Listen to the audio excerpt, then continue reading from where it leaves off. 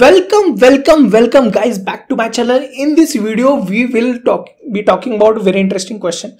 For what values of k? Sigma n is equal to 1 to k. N factorial summation is a perfect square. So you guys must be thinking where n factorial and all these are related to perfect square and all. So let's just deep dive into it. We'll make some observations in it. So first observation is for n greater than equal to 5, n factorial has 0 in its units place right?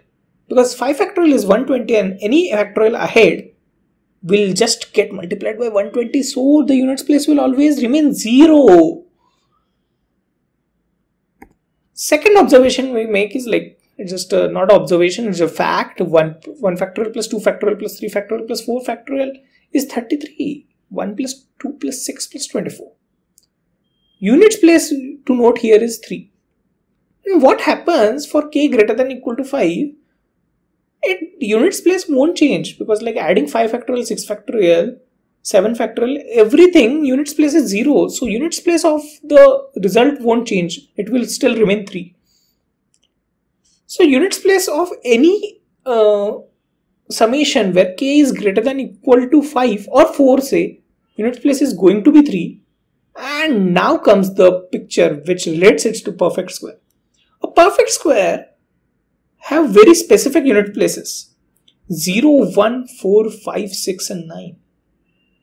Numbers like 2, numbers ending with 2, 3, 7 and 8 cannot be perfect square.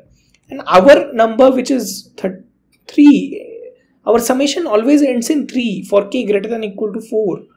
So, our summation will always uh, have a units place 3 so it cannot be perfect square for k greater than equal to 4 so only remains the choices k 1 to 3 so for k is equal to 1 it's just 1 factorial so it's perfect square. For k is equal to 2 it's 1 factorial plus 2 factorial. This 3 is not a perfect square. And for k is equal to 3 it's 1 factorial plus 2 factorial plus 3 factorial which is 9 is a perfect square.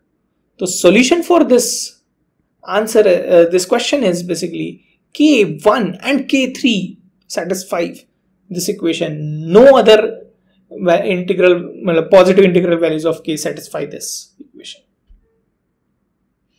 That's it. Thank you guys.